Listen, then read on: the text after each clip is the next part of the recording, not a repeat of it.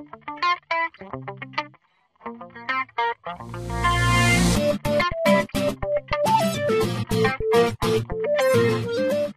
V-Ray users, Alex here, your V-Ray guide and today I'm bringing you a cool tutorial about V-Ray bug detection or at least a way of uh, finding and solving bugs. Um, lately I got two emails from two users having problem with uh, scene illuminations and complaining about uh, weird dots going all around the scene with uh, different colors. And that reminded me that back in 2006 I got the same bug that I was really hard struggling to solve it. And uh, eventually I did solve it but it took me a, it took me a while. So uh, anyway I've decided to make this uh, tutorial uh, just to help you out if you might get this bug as well. Um, I call it disco lights. As you see here it's uh, it's a different spotlights that illuminating all your scene um, it may be also with different colors and uh, different shapes and size. So um, basically the first thing that you want to check is uh, your message V-Ray message. If you're getting uh, a bounding box is too large or you're getting uh, far from position or uh, far from origin. It means that your scene is uh, is a far is a uh, uh, far from the center so you need to position your scene on the center. And um, you just might want to check your scale units that um, that you are working with uh, with scale units. And um, I'm working with centimeters in USA probably and Canada you're working with inches so uh, just check uh, check this out that you are in real scale mode and uh, your scene size is a real size.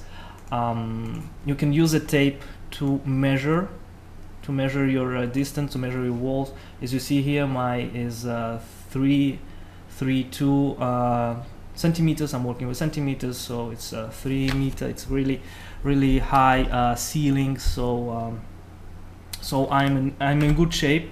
My scene is probably in uh, in good in good position and it positioned in the center. So this is the first thing that you want to check.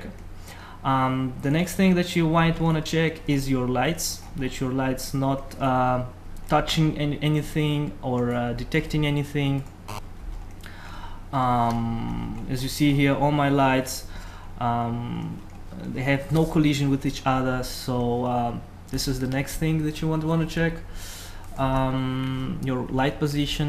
If you got any hidden lights or any other lights, just make sure um, you turn this off you're not rendering any hidden lights um, also make sure you don't have any duplicated lights uh, sometimes it happens when you work fast and you don't notice it so uh, just make sure you don't have light in light in light sometimes when you make a group and you duplicate um, it may occur um, so that's for lights if the bug's still there if the bug still occurs uh, you can move on to checking your uh, textures. So regarding textures, um, um, you might want to check your UVW mapping. It's very important thing that you have a UVW mapping all, all your models and uh, all your objects. So uh, I know sometimes it may also cause a, a bug to occur. So uh, after checking all your models, all your objects got UVW map aligned to them. Um, you might want to check, uh, you might want to convert all your materials with scene converter. As you see here, I got here a standard material and if I press uh, convert to scene, um, oh, I'm going to get this, uh, this message. I'm going to get this message if I'm using ray trace materials. Ray trace materials are um, not V-Ray materials, they are ray traced uh, they are only supported by 3d max not supported by v-ray. So uh, basically i cannot convert them. I need to convert them manually. So just select the object and convert and do this operation one more time v-ray scene converter press it and check this uh, standard material what's going to happen to him now it's V-Ray material and if you see here if I used any high glossiness or any parameters it gives me a really weird number so you might wanna um, recheck one more time all your materials. Um, the next thing is um, override material. This is basically uh, you're applying one material to whole to, to the whole scene and uh, rendering it. Just uh, use it here. Override material. Just uh, put some some V-Ray material in it and hit the render button. Basically, what it does, it's apply it applies automatically to all your scene uh, one material. If the bug occurs because of some wrong material, some detection material, uh, this this should probably solve it. So if you don't get these uh, disco lights by using this option, you you you can make sure that this is your material, and you might want to check your materials. Okay. Um, next thing, you want to delete your all your planes, all your uh, DWG stuff, everything that you brought from uh, from uh, AutoCAD, ArchiCAD, or any architecture program. I know this uh, this stuff sometimes comes with uh, with uh, different with really weird names and uh, really weird objects. Some of them, some of these objects uh, might even be unseen. So basically, the name is is block.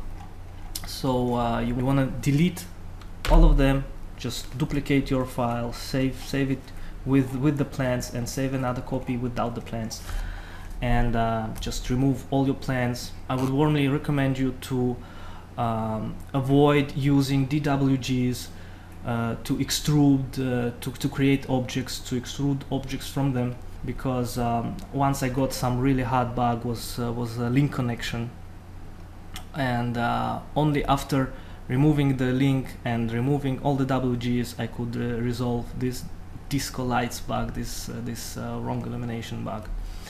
So um, the next thing you want to do is uh, select all your scene without the lights, without the cameras, and convert it to editable mesh or editable poly. That way you will just uh, kill all the modifiers and everything that can occur or cause this bug to happen. And uh, you should probably be okay on this stage. If it still occurs and if it's uh, and if it still happens, what I did um, for the final thing is uh, I moved folder. I just moved uh, uh, to another directory. I opened there a new folder, created new file, and merged into it um, only the objects that I knew that were um, created by me and uh, had nothing to do with DWG files and were not extruded from DWG files. So uh, basically all the models that you are sure 100% they're okay you just uh, merge them to your new scene and um, this is how you solve this bug uh, if you do this step by step uh, you should probably uh, solve it. So um, let's just memorize it. If you're getting a message far from origin or a bounding box is too large you first of all you want to check your uh, scene position and uh, use it and measure it with with tape. Then check your lights check your position hidden lights or duplicated lights. Check your textures, uh, use the scene converter, check all the UVW maps, and uh, ray trace material you need to convert manually. Um, use override option material to detect if it's a texture problem or not. Delete all the architecture plans. Uh, check also uh, hidden and unhide all the objects. Check if there is unseen objects. Uh, the name should probably be, uh, be block or something like that uh, convert all the scene and to editable mesh or editable poly and eventually delete uh, all extruded uh, objects from plans or uh, DWG files. Just uh, use the snap tool, remodel all your walls once again. The last thing, if it didn't happen, move a folder. Try to lose this link. Sometimes uh, DWG um, plans they got they connected to your DWGs in your 3D Max scene. So uh, basically, if you move a folder in another uh, directory, you should uh, probably kill this link forever. So basically, this is it. If you follow these rules, you should probably uh, find a solution for this bug. I hope you enjoyed this tutorial and find this useful. If you got any comments or any questions, just post them on my blog. I'll be happy to help you. This was Alex, your V-Ray guide. Talk soon. Bye.